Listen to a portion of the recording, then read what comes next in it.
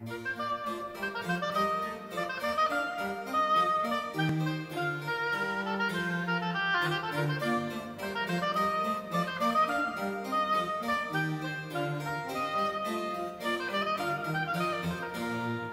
back to the Classical Architecture Workshop.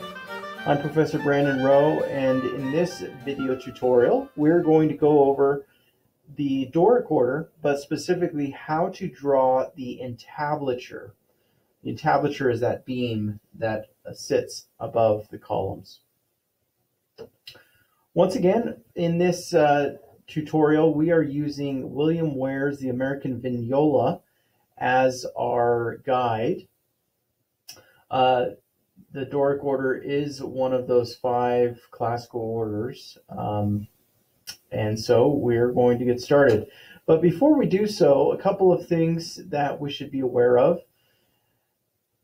Um, one of the things that we talked about early on is that what makes the Doric order unique is these uh, elements called triglyphs. The triglyphs are directly centered above the columns themselves in the entablature. And uh, in these, uh, in uh, excuse me, in between these triglyphs, we have what are called metopes. Um, in these uh, two plates that we see here from William Ware, um, the one that is shown here on the right hand side is what we call the mutulary Doric. And this is the version that we will be drawing today. So here is a sneak peek at that drawing that we'll be producing um, in terms of drawing a mutulary Doric entablature. So let's go ahead and get started. As we've done in the other videos, you're going to need a couple of tools for this drawing tutorial.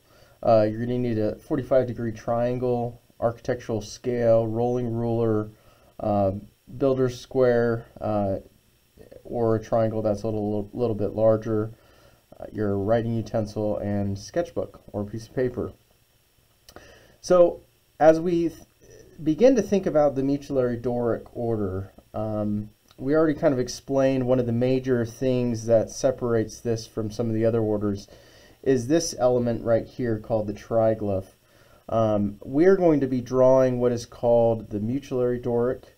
And so because of that, it has these projections. So it's almost as if these beam ends continue up and project outward.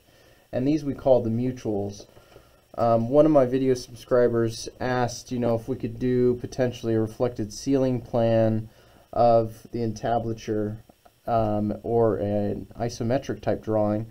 Um, this video won't necessarily cover that, but I wanted to show an example of what that actually looks like.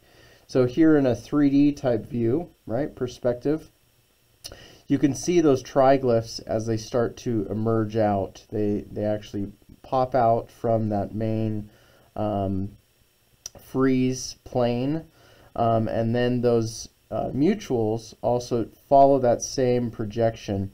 And on the underside of those, we have what are called uh, guttae. And those guttae, it's a 6 by 6, so there's 36 of those. Um, and so, you know, translated, they really mean uh, drips or drops. Uh, so, some used to believe they were drops of blood or pegs that held uh, the beams in place type of thing. Um, but anyways, this this is that mutulary Doric reflected ceiling plan um, and that 3D view of that according to Vignola's, uh, excuse me, William Ware's plates in his American Vignola. So wanted to just kind of show that so you can get a glimpse in 3D what's really happening with the Doric uh, entablature. So with that, we're going to get started. This overall drawing, the scale of it is going to be similar to the column base and column capital that we did, the enlarged versions of those, um, meaning that every three inches uh, equals one foot. Um, and so as we think about that, right, just as we did before, here I've got uh, excuse me, um, this is the, the uh, Skinner, uh, more slender portion of the column, but uh, D, as we may recall, was 3 inches. So the entablature in, itself, in and of itself is 2D in height. So that's 6 inches in total. Um, and then as we set up this drawing to fit on an 8.5 by 11 piece of paper, uh, we're going to make it overall in length about 9.5 inches. And so to get us started, I'm going to use my builder square here. And place this and start drawing a couple lines. So I'm going to create a horizontal line for the very top here. Pull this down just a little bit from that top. Okay. So I'm going to put a tick mark here at the nine and a half and then I'm going to go across nine and a half inches and then I'm going to go ver vertical down six inches and that should give us um, what we're looking for. So this six inches, while I've got, already got the ruler here, I'm going to go ahead and put a tick mark at the three inch mark because I am going to split this into two with a graphic scale. Um, so that is going to be 2D in height for the full entablature. So if I get my uh, rolling ruler here, to create a little uh, small graphic scale parallel to that previous one. Um, and then I'm going to scoot off a quarter of an inch. I'm going to put another graphic scale there. I'm going to do this for the full duration or the full length, excuse me, of the entablature. And that next one, we're essentially going to subdivide into eight equal parts. So if D is equal to 3, and I'll, I'll, I'll put this here um, for your reference. Um, so we're going to be separating this into 2D.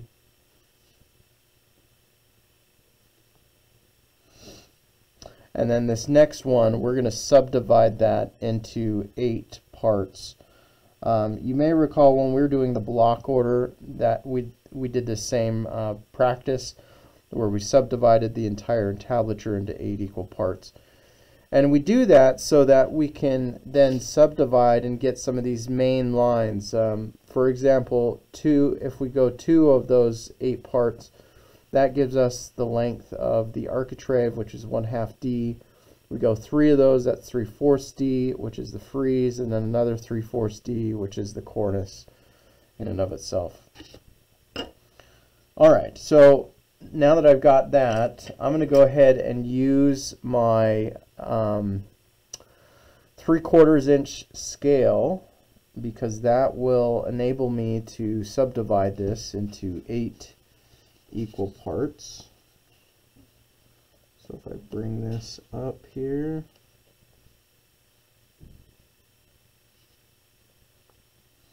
So I'm going to place a tick mark at each number. One, two, three, four, five, six, seven, and eight.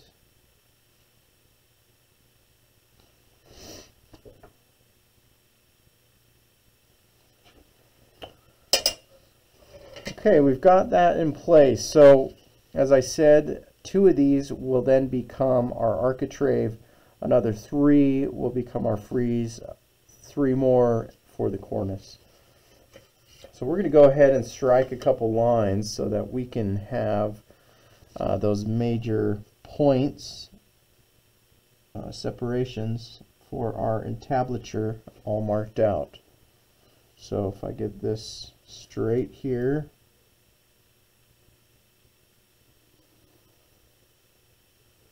just carry that line through. I'll probably doing a, a little extender on here. I want to do a little dimension stringer so I can label some of these items. So that upper third will be our cornice. We'll go down another three. this will be our frieze. And the bottom here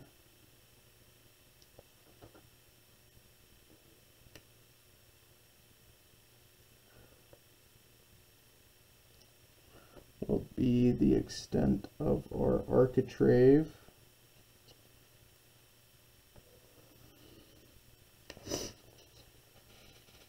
Okay.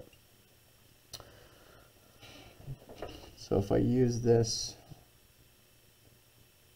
create an extender out here, same with this one for the bottom of the architrave or the bottom of the full entablature itself. And then up here at the top,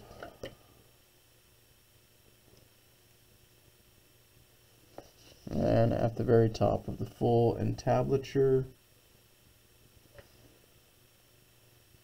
Okay. Use my rolling ruler here create a little parallel dimension line.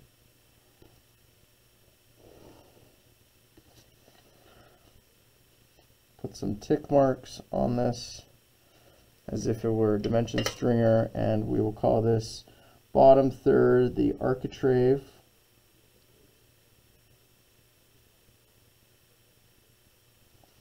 And that is one half D. Uh, the middle section is the frieze, F-R-I-E-Z-E, and that is 3 fourths D. And then the top portion, which is also 3 fourths D, is the cornice, C-O-R-N-I-C-E, and that is 3 fourths D, our diameter. Great. So now that we have that, um, there are a, a, couple things else, uh, other subdivisions that we are going to create uh, within that, that three subdivision that we created for the cornice itself.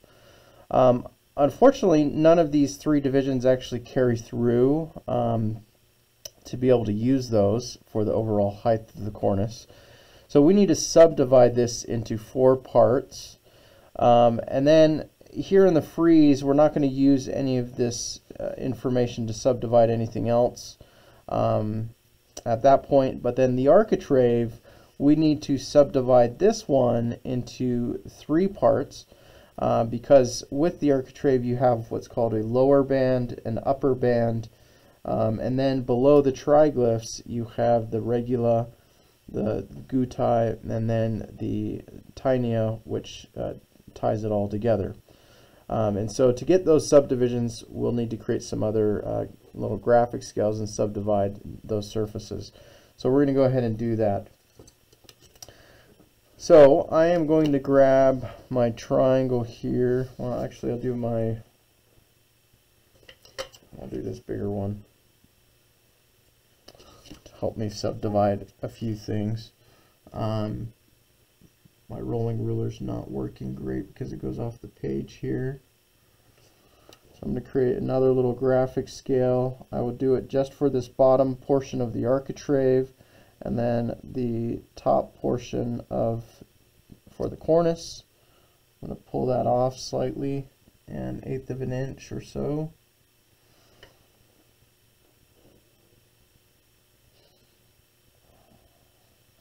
So like I said, for the cornice, we're going to divide this into four parts and in the architrave into three parts. Um, but while we're at it and in the mode of creating graphic scales, we're going to go ahead and create a couple more. Um, as you can see with this four divisions, we're going to create another two graphic scales side by side of that. Um, and then same on the architrave. These ones are only going to be on that top third of the architrave. Um, so let's go ahead and create those. So I'm going to go another uh, quarter of an inch off, plus or minus, for this graphic scale. Um, and then this one, like we said, is only going to be this upper uh, third on this side. Um, this this other side is going to go through the whole four divisions. Pull that off an eighth of an inch.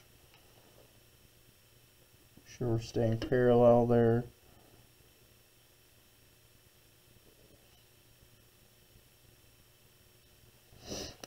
Okay, and then this last one, um, we'll pull off just another little ways here. Make sure we're straight.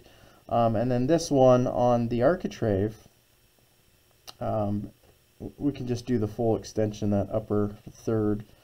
Uh, we'll come back and subdivide that in just a minute. And then this one, we'll just go all the way through. Um, we'll come back and subdivide this one as we get to it. Sure we're staying parallel. Okay. So we've got that. All right. So to subdivide this bottom one first, let's let's jump into this this area. So we are going to use, um, if you remember, uh, if D is 3 inches, 1 half D for the architrave is going to be um, one and a half inches. And so that's that length or two of those right? Um, and then so if we subdivide one and a half inches into three that's going to give us a half inch uh, each one. So if we use our half inch scale here I can uh, quickly subdivide this into threes parts. And uh, one of which I will carry down to the next graphic scale because uh, that half inch will continue down there. And so if I'm using my half inch scale still if I use it on the side with all the teeth um, that e equally subdivides that into half um, so I can use that to actually subdivide the next portion into two so I'm going to write my 2 there. And then the portion right below that, um, we're going to subdivide that into um, 3. so just one half of that into 3. Um, for this one, I would actually use the quarter inch scale. It's a little easier to subdivide at that point. I'm going to erase some of this that I do not need here.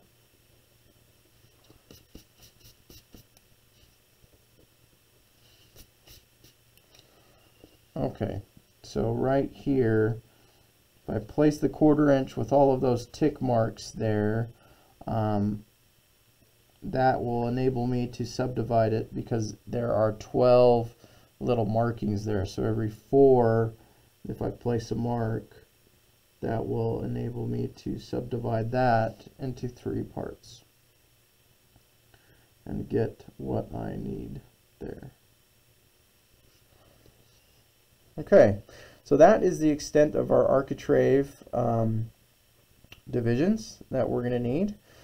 So let's go ahead back up to the top now and subdivide the cornice itself.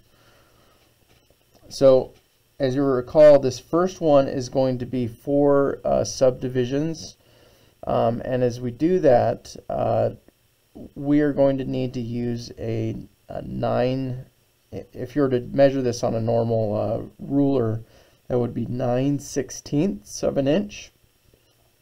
And so to get this, I'm just going to use my 1 16th scale here. Excuse me.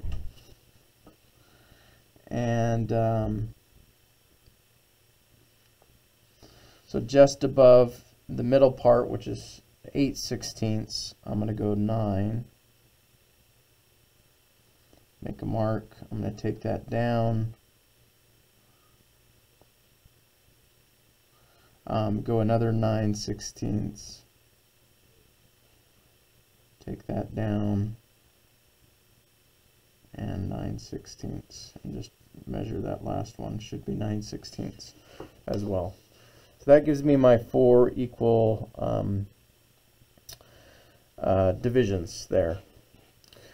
Um, before we do anything I'm going to take some of these lines across for this one in particular we're going to take a line across for the top division the second division as well as the third so all three of those uh, tick marks that we just created, we're going to take a line through horizontally through the full entablature. So let's do this for this first one. Take that through.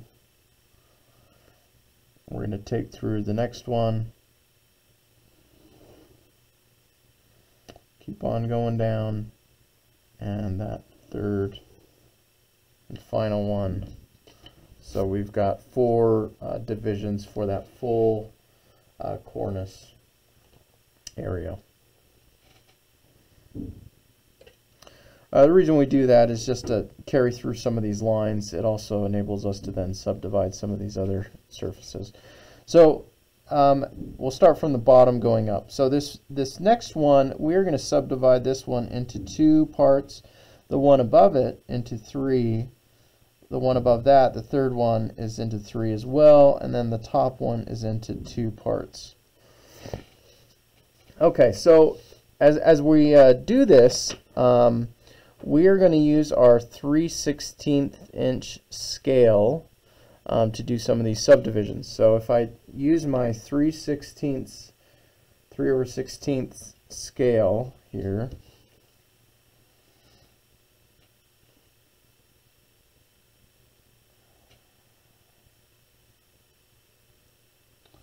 and I subdivide this into half.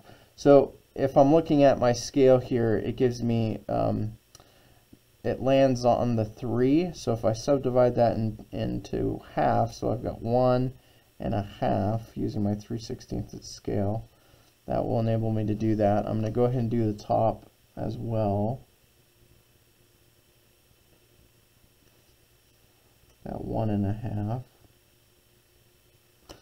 And then for the three, um, as you know, it's already at three. So we got one, two, three using the 3 16ths. So each of these spacing is going to be 3 16ths of an inch. As we subdivide that into thirds, and same with the one below it.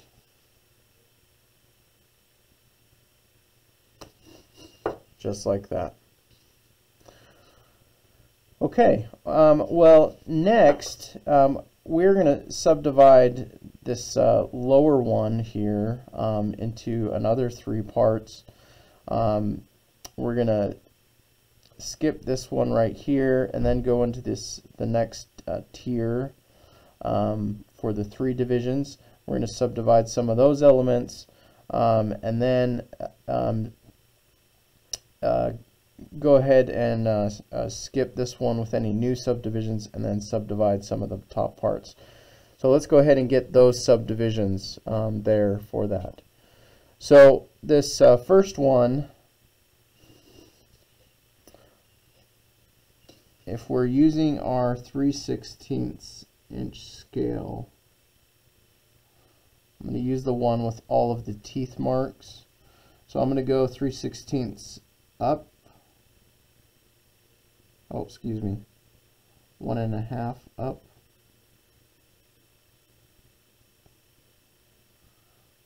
so here you can see it's actually one and a half up because we carried that two through. And then that because it's one and a half we've got a tick mark at each half point. So we can easily subdivide that into three equal parts. So I'll write a 3 here. I'm going to erase this next part because we don't need that. Um, in this one where we just subdivided it into uh, three parts, we're going to carry some of those through. Um, and this, uh, this bottom one, so first I'm just going to go ahead and mark those uh, subdivisions down.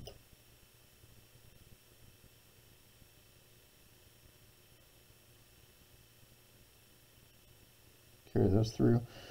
Um, so uh, these upper, oh, excuse me, these lower two, th these are going to be divided into two parts each.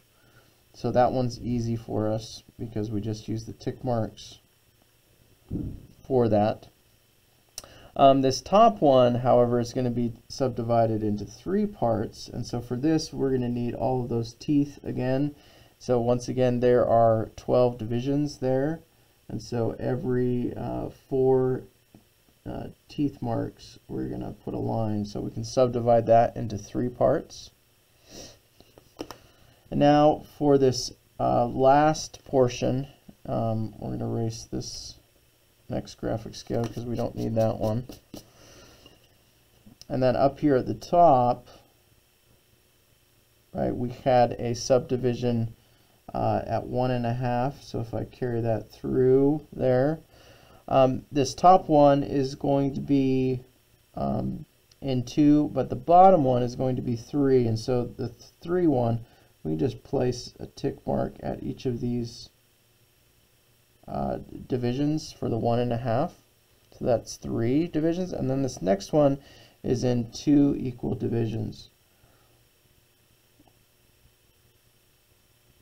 So as we do this one,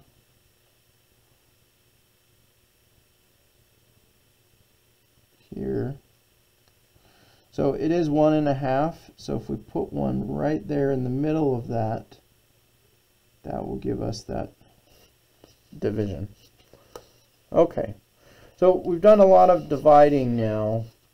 Now's the time that we take a lot of these lines across. So we're going to shift back to our rolling ruler here. Let's start uh, going from uh, the bottom up. So let's start at the architrave, the very bottom of it. And we are going to go up to that first third division. Carry a line across. Uh, we're going to keep going up to that next third division. Uh, this one, we're going to carry a line across um, very lightly because there's only a portion of it that we're actually going to use. Um, and then as I'm going up where we've got, you know, dividing that in half, I'm going to go ahead and carry a line across for that one all the way. And then as I go through, um, that portion becomes our, our taenia. And then uh, this division where we did three, I'm just going to go to that first top third there and carry a line across lightly as well.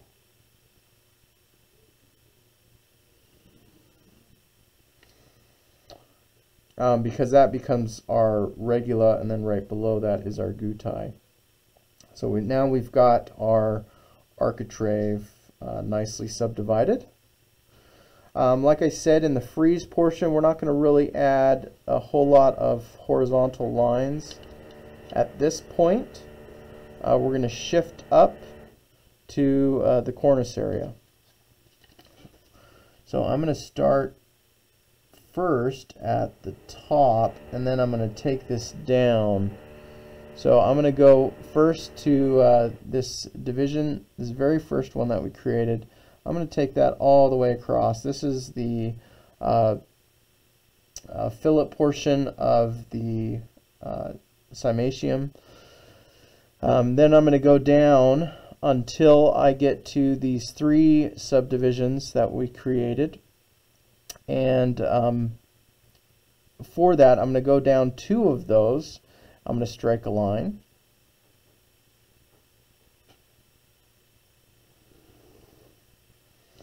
And that distance there will actually give me my uh, cyma recta molding. Now let's go back up, make sure we're being parallel. Come down. So this next one is we've subdivided that uh, kind of corona portion into thirds. That top third, we're going to carry a line across for that.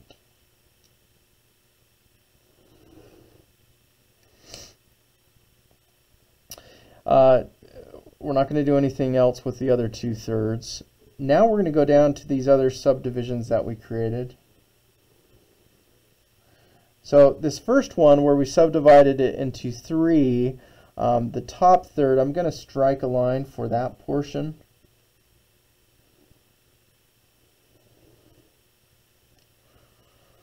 And this is going to be another uh, fillet mold. Um, that two thirds as it goes down, um, beyond that, we're going to strike a line for that. That is going to be the bottom of our cyma reversa.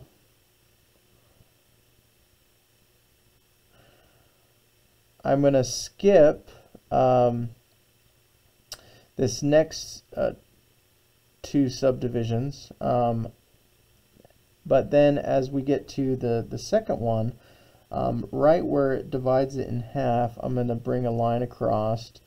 This is acts as kind of the drip mold. You can see here line as well as uh, this line for um, the guttae underneath the mutule itself. And then as we go down here now, um, for this last one where we subdivide it into three parts, um, right there at the top, I'm going to carry that line across the top of that. Um, and then the last one is going to be, I'm going to go one third for that three divisions, carry that line across uh, very uh, to give us that information. Okay, well I think that's all of those subdivisions that we really needed. So the next thing that we're going to do, um, since I've already measured this ahead of time, right, we measured it to nine and a half inches, and so this is the edge here the, the tip top part of our uh, cornice, the furthest most extension. So we're going to start from there and go backwards towards the center line. Um, usually you would actually create the center line and go the opposite direction. Um, but since we've already measured this out, uh, we're going to do it in this fashion. So with this, um, that dimension is essentially going to be four and a quarter of an inch. So if I take my normal ruler here, four inches and a quarter, I'm going to place a tick mark there. That is going to be my center line. So I'm going to use my square or triangle here to really get a, uh, a vertical line that's perpendicular to the top. And because this is the center line, as we've done in the past, it's going to be a dash, dot, dash, dot.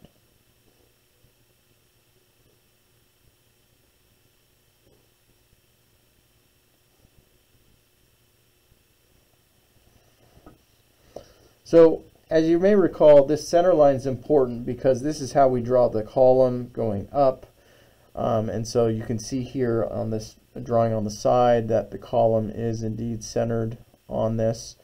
And as you go up from there, right, the, the neck of the column um, changes in width. Instead of the full D, it's 5 6 D. And that face, if you dash that up, it always lines up with the face of the entablature. Um, so that's an important uh, thing to note.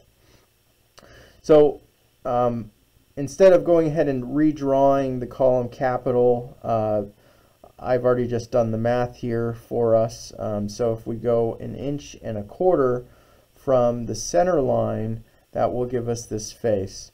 Um, the equivalent of that, you know, would be, so if this is 5, 6D, um, uh, half of that would be 2.5 over 6D, okay? So I'm going to go ahead and add here one and a quarter marking here. I apologize for some of that sound. That sounds like they're doing construction on the other side of my wall here. So one and a quarter just make sure we've got that. Um, I'm going to go ahead and strike a vertical line here.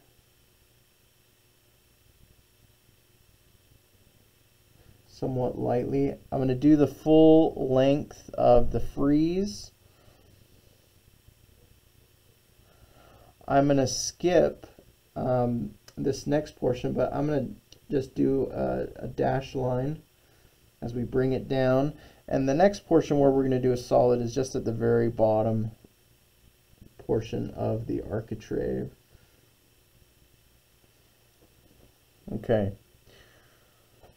So this bottom portion, we're going to go ahead and start labeling a couple things. This bottom is the lower band.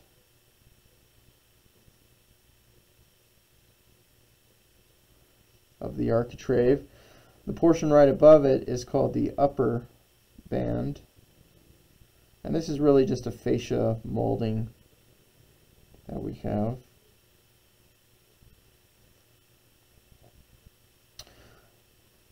And we'll label some of these other things in just a moment. All right. So from there, we are going to use our 45 degree triangle. Um, we're going to use this because um, here at the bottom, if you can see, right at the top of the column, if we draw a 45 degree line across there, that gives us actually the center point of a second triglyph. Um, and that's that's Im important um, to get with our triglyph spacing. But if we run one the other way, it actually gives us the extent of the taenia, this uh, uh, fascia type molding that runs across here. And so uh, we're going to run this triangle on, on both sides. So first, we will do it on the left-hand side so that we can get um, the extent of, of this. Um, I'm going to just do a dashed line here.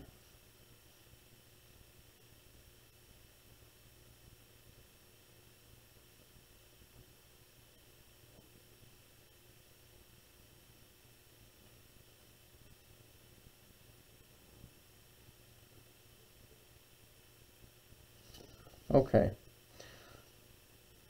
perfect. And I'm going to use my, right where that 45 hits the top of the frieze, I'm actually going to draw a dashed line down as well. Just because that indicates the center line of one of the triglyphs. Okay. Now let's do this on the opposite side here. creating a 45.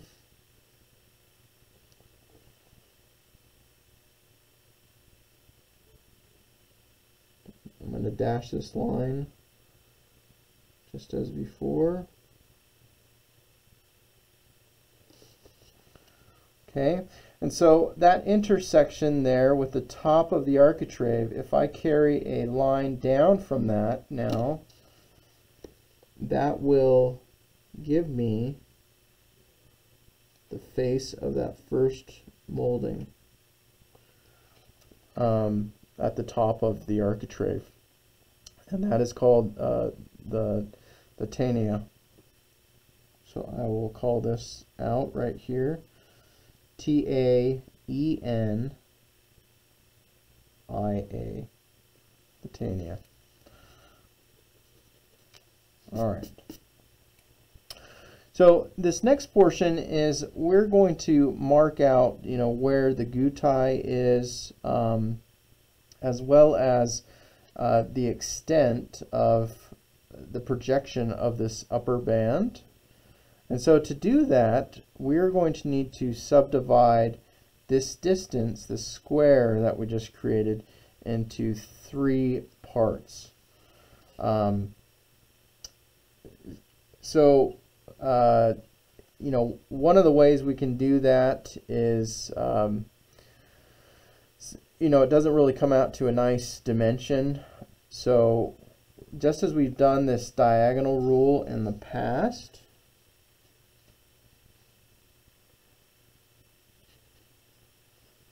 And to do this, I might actually need to bring this um, vertical line down just a ways. A light line.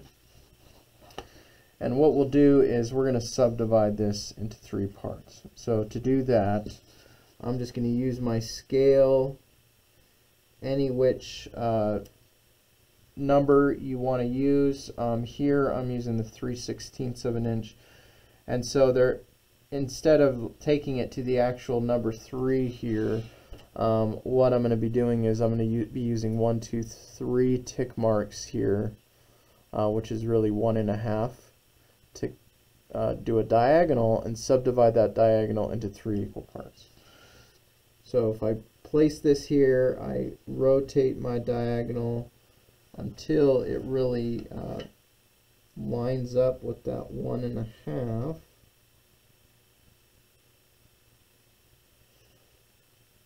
And actually, that's pretty darn close actually at, at a vertical, uh, excuse me, at a horizontal. So I'll just strike a line. I guess I didn't need to do the diagonal rule. So 3 sixteenths of an inch and I will subdivide that into three equal parts there on the bottom. So once again, that was using the 3 16 inch scale. So if I go ahead and strike here a couple vertical lines for this thir first uh, third, I'm going to do a vertical line for um, the upper band. It's going to go all the way to the bottom of the taenia. That is going to be that extent. So that is how my profile starts to emerge. Um, and then that, right, that third lines up with the taenia. And now with my uh, guttae, um, if I was to take half of that uh, outer third there and to strike a line up.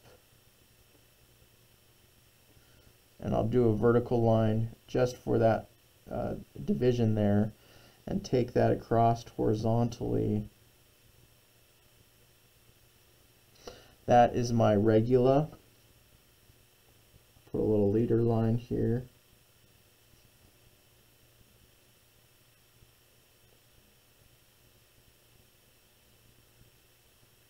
R-E-G-U-L-A. Um, and then right below that, if I was to take my other division there, just bring that line up. Um, this is kind of flares out slightly. This becomes one of these in the side profile view. This is the guttae.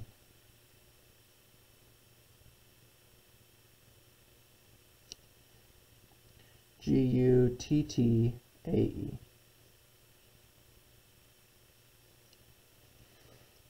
Okay. So there we go. Got some of that information there. All right.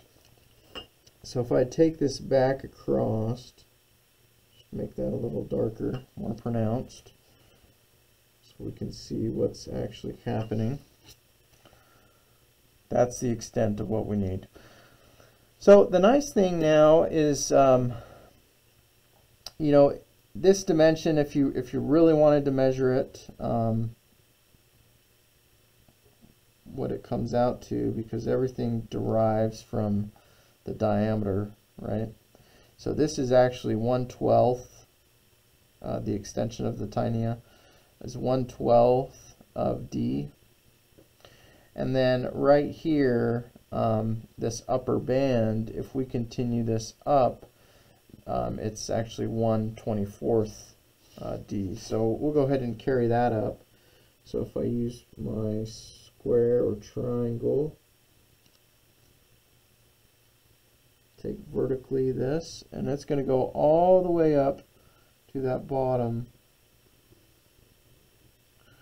there of um, the cornice itself. And so that dimension there is 1 24th D.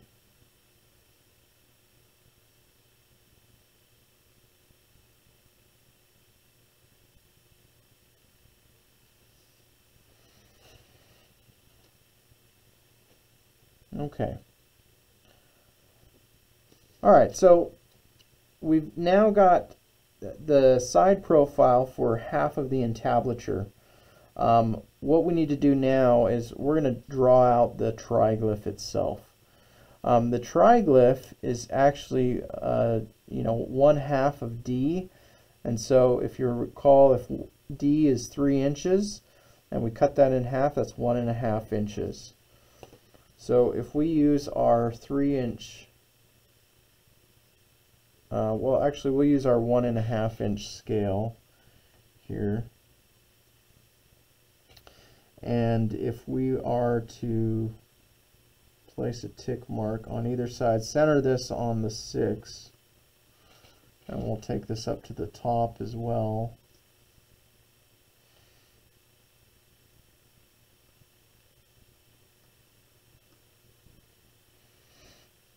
Great. Um, and then, you know, in this upper portion here, where the mutule, because we're doing the mutulary Doric, so this mutule pops out, that actually lines up with the triglyph. It's the same size. Um, so if we go up to uh, this portion here with the 3 and the 2 and uh, put a mark on either side of that, that will also give us the extent of that mutule. Okay, now we're going to just connect the dots here.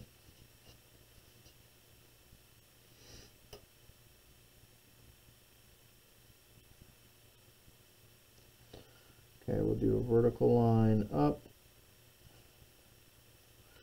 Um, the extent of this next line starts you're going to go one, two, three up. And so um, this little guy right here, as well as that next one, that is the extent of the mutule because this is that drip edge. So it'll look something like that. Uh, take our ruler and do the other side here as well.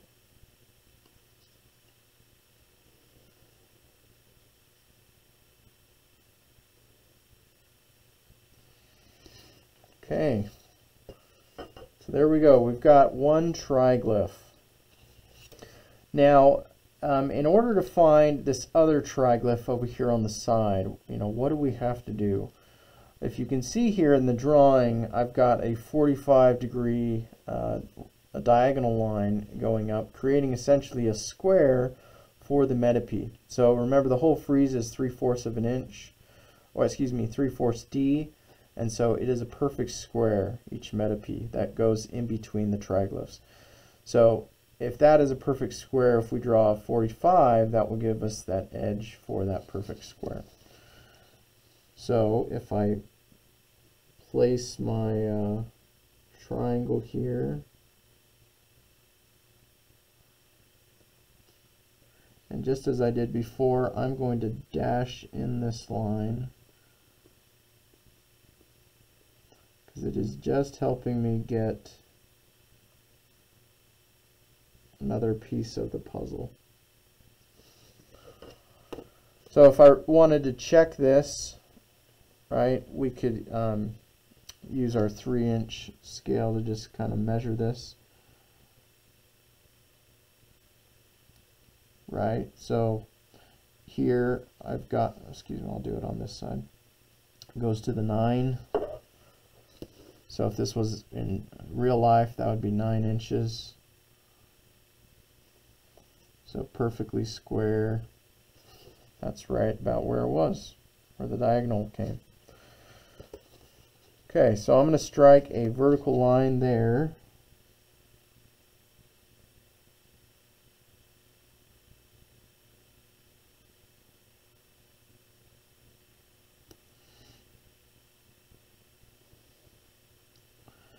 Before I take my uh, ruler up, I'm going to add this little vertical portion over here on the side as well, because I will have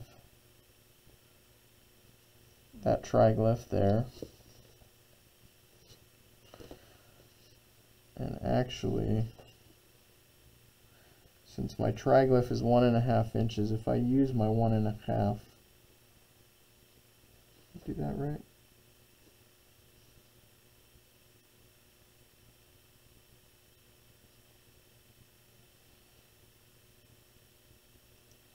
Place that there on the other side. It looks like my um, horizontal line is slightly off.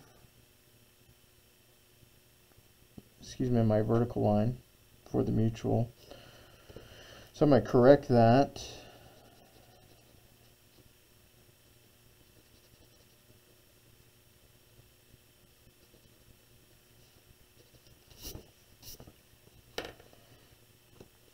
Okay. Go ahead and fix this and this one above it.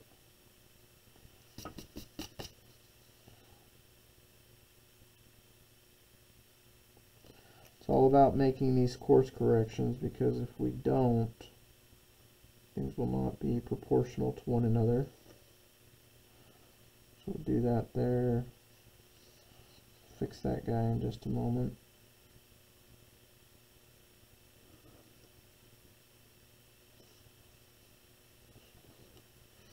There we go. We've got our two uh, triglyphs adjacent to one another. And you know, now that I'm looking at that guy, it does not look the other one slightly off in terms of being perpendicular.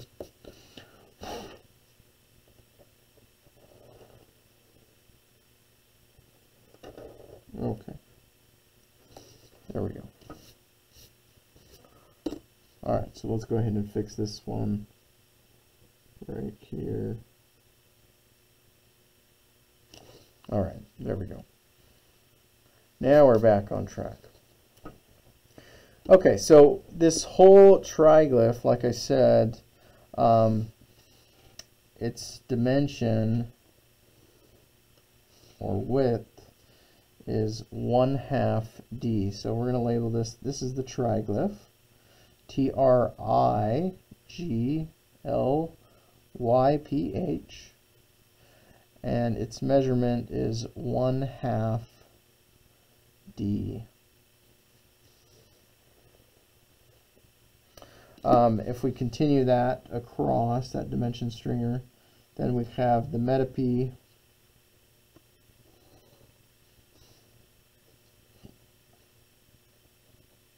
M E T-O-P-E, metope, and that is 3 fourths D. Okay. So with the triglyph itself, um, it is subdivided into 12 separate parts that you can see here. Um, to get those 12 subdivisions, uh, we're going to use our eighth inch scale.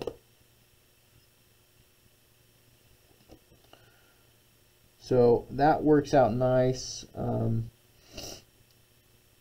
uh, in terms of uh, its subdivisions. Um, so if we strike a line across here um, and create a small little graphic scale, what you'll see is that using your eighth inch scale, every tick mark will enable us to get 12 divisions for this full thing.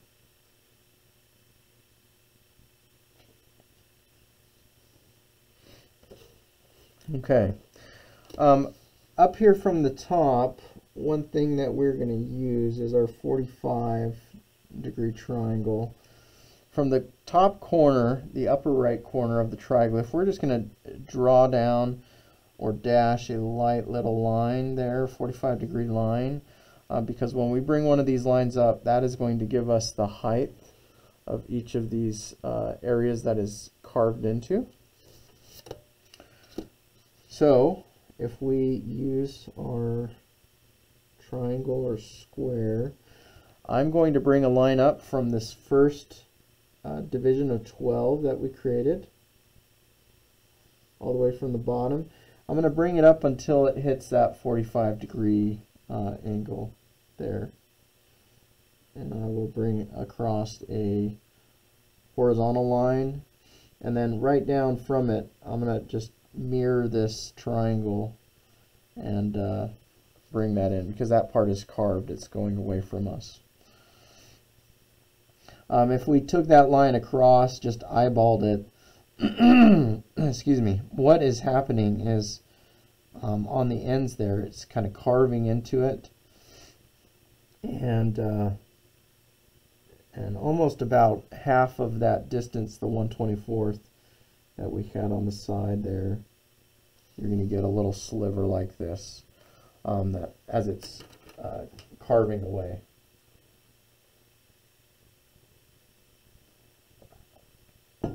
Okay, now that we've got that first one, uh, we're going to have a flat portion, and so a triglyph means three, tri. Um, and so if we go over two from there, two of our 12 divisions, bring that vertically up. We'll bring it just to that uh, same part that we uh, created earlier. Just carry a light line across here to guide us and how far we should take those up. Um, so we go over uh, 2, that will be a flat portion. And now this is going to uh, concave in um, the triglyph, uh, carve in. So we're going to place a, uh, a vertical line on the next one over. Next two, that is.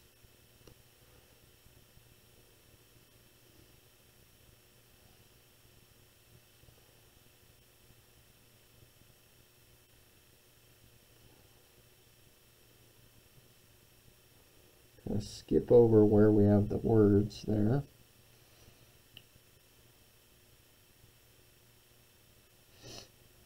Okay. Um, this next one, we're going to skip over the center line um, because just like this one had a flat part with two, uh, they'll be the same and it will be centered right on that center line. So we'll go over one.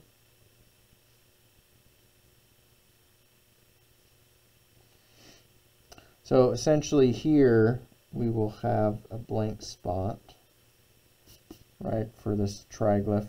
We'll have one right there in the center, so we can erase that. Um, and then as we keep going over, we'll create that next indentation. So we'll go over another one.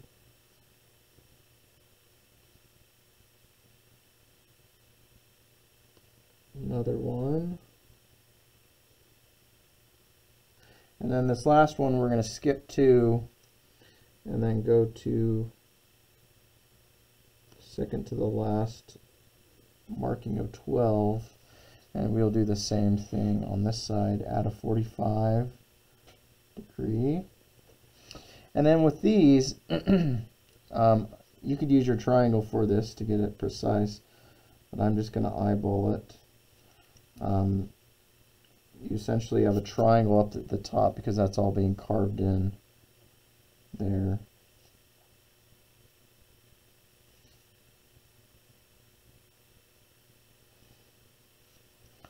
That is the extent of our triglyph. So this would be then repeated over here on the side, but uh, we're not, for uh, time's sakes, we're not going to do that at this point. so um, a, a couple of things that we're going to do now is uh, we are going to um, uh, continue with uh, some of our profiles as we go up um, in the cornice area.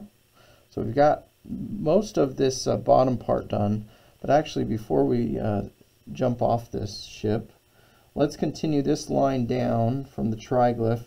So right below the taenia, we will add a line here from the triglyph that continues down on either side. And I apologize, there's the construction again.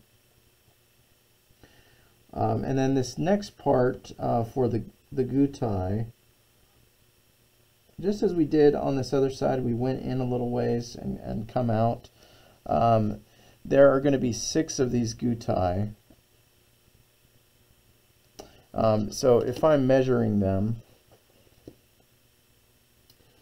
uh, they are roughly going to be two thirty seconds of an inch.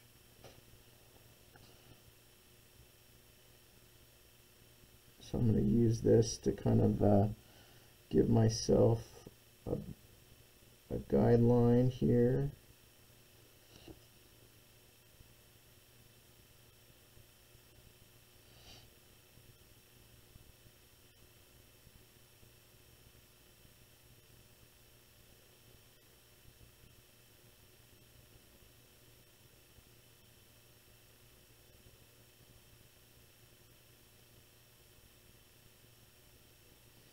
There will be three of these on either side. Okay. And they what they do is they taper up into the regula area.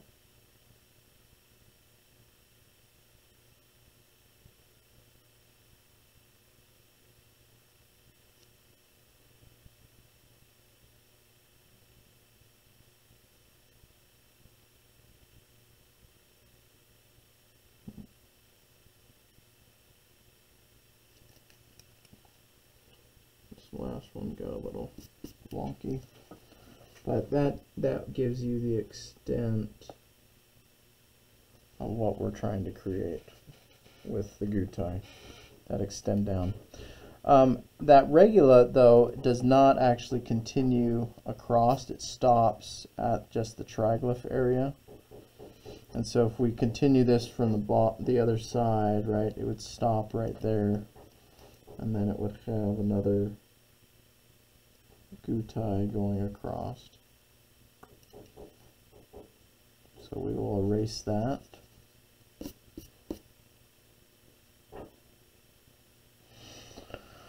All right, so that about wraps up this bottom portion of the mutulary Doric. Now, as we continue upward, um, you know, we, we created this face of the frieze itself um, we're going to continue a dashed line up from there um, because that's going to be important for us. And uh, while we're at it, we are going to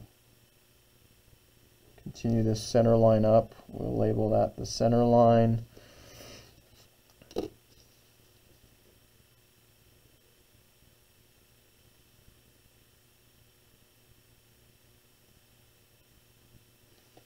Okay, so we'll continue that face up. We're going to dash this in.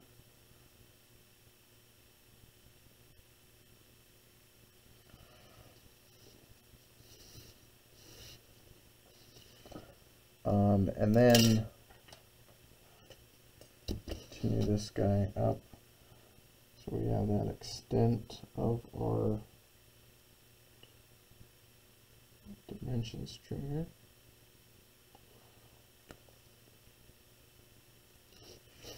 So the nice thing is what we're doing here is uh, this distance from the face of the frieze and the architrave and even the column face down below over to the extension of that full corona is actually 1D. And so that that is what we are going to be marking here. So if I add a horizontal line across here, dimension stringer, uh, this is 1 D, 3 inches.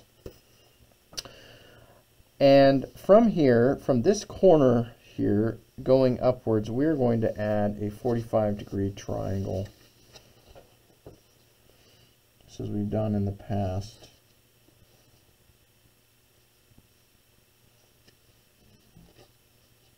Let's see here. Make sure I can get this right.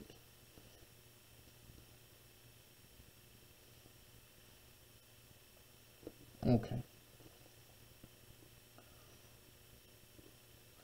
Dash in this line here, going up. And you'll notice it doesn't go to the full 1D. Uh, that's because this dimension here, and I'll just kind of lightly draw this in.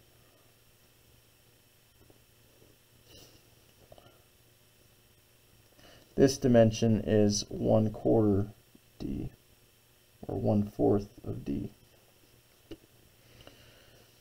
Um, that's that's important because as we go that 45 degree, we're going to take a line down. That's going to give us the face of this um, drip edge for the, the mutule itself and allow us to get some of these other uh, molding profiles. So if I take this line down now, I will dash it in.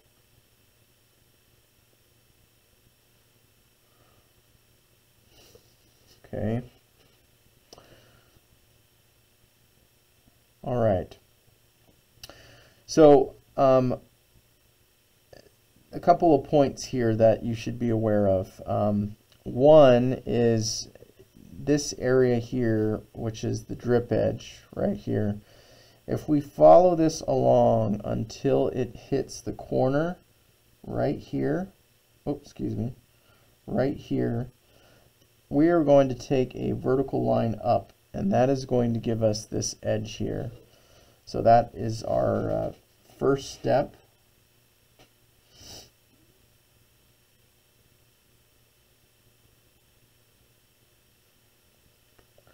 So we'll take that up. Um, and then the nice thing is that if we take a 45 degree uh, angle here, we enable this to just keep moving down for us, right at that top part this side.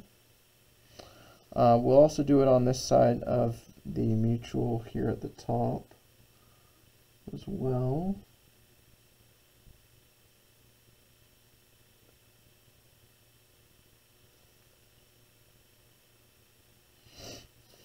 And then we will do the reverse on the other side.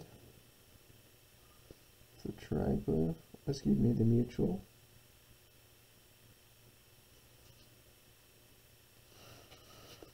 And then over here this last one.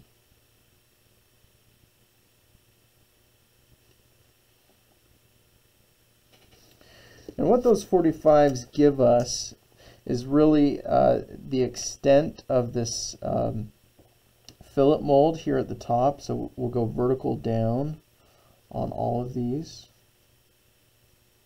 where that 45 touches. And then underneath that, uh, kind of centered in between, it, it juts over a little bit. Um, we have a, uh, a, a uh, excuse me, a Cyma reversa molding that is supporting that. And if you remember, a Cyma reversa is essentially two circles stacked on top of each other um, because all of the weight is pushing down and causing this top part to bulge out.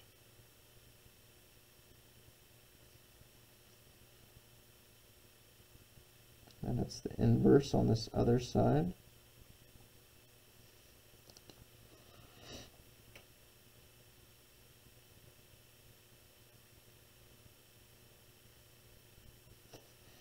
And we're just eyeballing this. We're not going to be uh, using our compass. It's so small. Um, but the nice thing is that that continues over um, across here. So if, if at this point, right, where we uh, created that uh, 45, um, right here, that line would actually be solid because this is the edge of our mutule and that little drip edge. And so if we took a 45 degree from there as well, have a vertical line that comes down, uh, we would have another cyma reversa supporting that.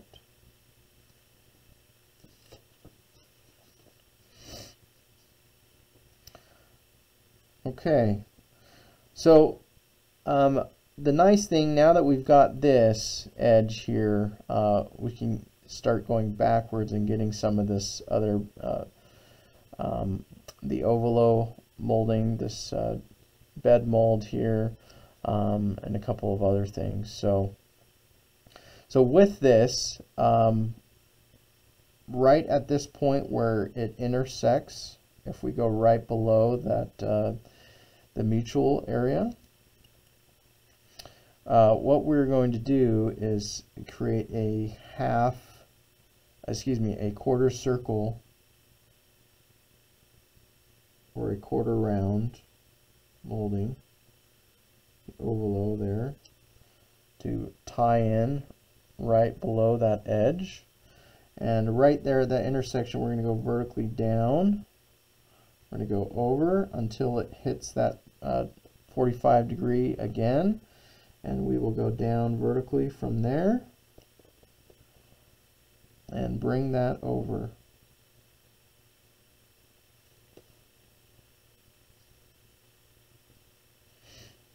Okay, so with that, um, in this area here where we've got all of these guttae, um, there's six by six up when you're looking at the reverse ceiling plan of it.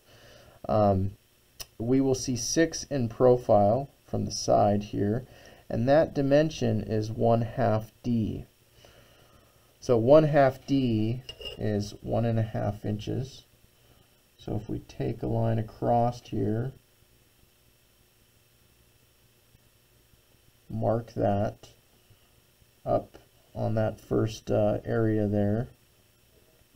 And then if we uh, were to subdivide this, um, just as we did on the bottom. Um, as you may recall, it was 2 32nds of an inch. So if we place this across here, leaving a little space in between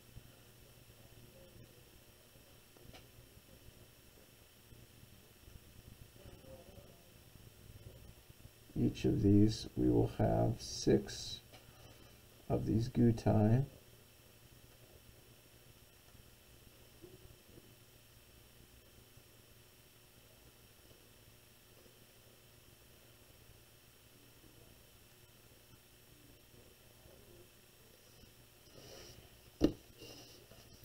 And then at this last part here, um, it actually goes up and has a little curve on it. And we call that the dripped edge.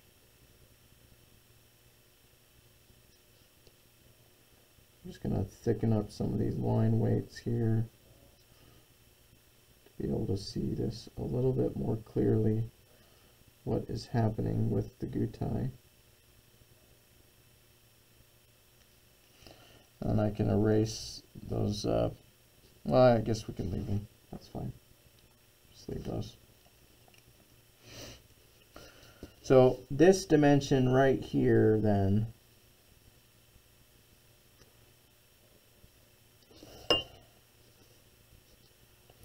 This is our bed mold.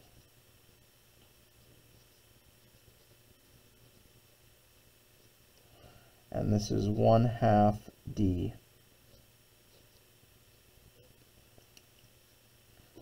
I can erase some of these other lines now that extended beyond.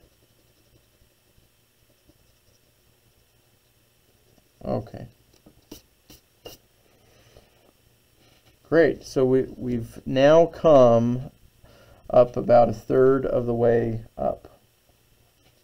So right here at the bottom, um, in order to get this extension for uh, what is called the corona, and before we move on, let's let's label this. This is the mutule M-U-T-U-L-E. It's the same as this portion right here. Um, as we as we go up for the corona, we're going to take a 45 degree up to the top.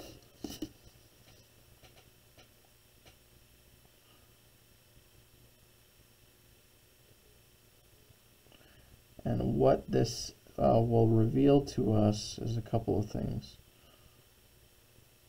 Okay. So right where it intersects at this portion, if we were to dash a line down there, um, that gives us that face of the corona.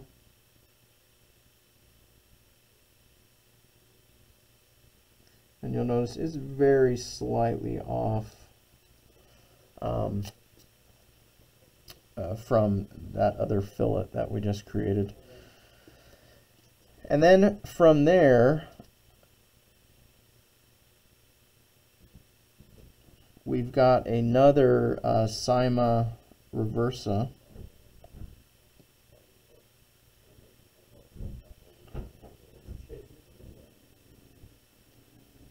Right above that with another uh, flat fillet mold. And then we get to the Cyma recta. That is going to cover the rest of the remainder of this area. We're just eyeballing this in. But the Cyma recta, as you recall, it flares out at the top. It is that crowning element. Um, and so this, this area we call the cymatium, C-Y-M-A-T-I-U-M.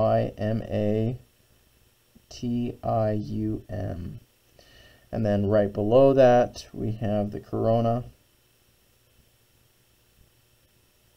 So not just the coronavirus, right, but the corona portion. Um, and then beyond that, uh, the thing that we'll do is you can see here in between uh, these mutules, um, they're actually, they do not continue because we don't have a continuous drip edge. It's, it's just at the portion where the mutule protrudes from the face of the entablature and the frieze itself. So we can erase those. And that is the extent of our Doric mutulary uh, entablature. So once again, um, thanks for joining us on the Classical Architecture Workshop and stay tuned for as we move forward into some of the other orders. Thank you.